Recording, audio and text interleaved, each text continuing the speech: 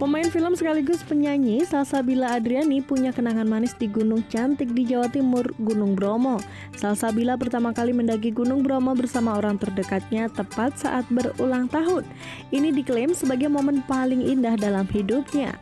Hal tersebut disampaikan kepada tim Genpi.co beberapa waktu lalu yang berlangsung di kantor Falcon Picture karena aku baru naik pertama kali gunung ke Bromo dan itu benar-benar pertama kali subuh-subuh ngeliat langit tuh bintang semua bener-bener dan itu hari ulang tahun aku. Momennya pas banget sih.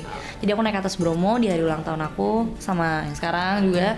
Jadi kayak momennya pas banget. Itu hal terindah yang pernah aku rasain sih. Ulang tahun terbaik aku sih selama aku. Selain Gunung Bromo, ternyata Salsabila memang hobi mendatangi tempat-tempat terbuka seperti ke Sumba di NTT. Menurutnya, pemandangan dan pantai di Sumba menjadi daya tarik gadis yang kini mengambil studi bidang hukum di salah satu universitas di Jakarta. Sumba oh, iya. itu bagus banget sih. Bukit Waringin juga sih. Mm. terus aku juga belanja kain tuh di Sumba. Okay. kan ada yang sekarang di Jakarta tuh yang sejauh mata memandang. Kan tuh di Sumba. Aku belanja langsung dari yang bikin. Wah bagus banget sih. Benar-benar bagus banget. Asep Wahyudin, Kinpi.co